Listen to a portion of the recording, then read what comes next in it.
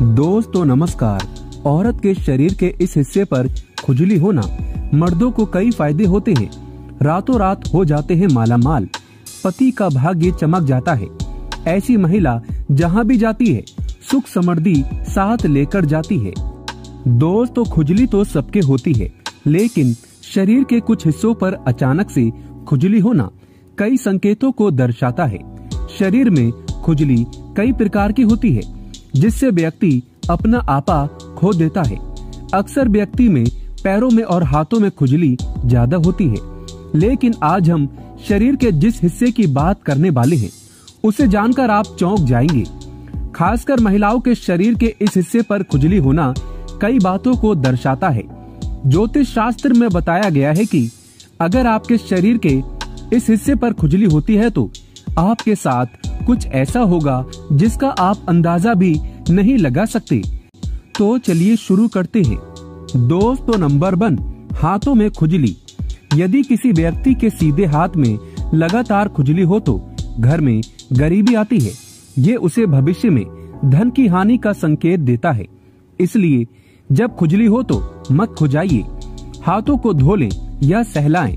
वहीं समुद्रिक शास्त्र के अनुसार माना जाता है कि अगर बाएँ हाथ में खुजली हो तो धन लाभ होता है। पैसा भले ही दूर क्यों ना हो, लेकिन आप तक आ ही जाता है। और बार बार किसी भी हाथ में खुजली होने पर खर्चा बढ़ता है। धन हानि होती है। दोस्तों नंबर टू, सामुद्रिक शास्त्र के अनुसार अगर किसी महिला के गर्दन पर खुजली हो तो ये घर में लड़ाई झगड़े कराता है। धन हानि का योग बनता है।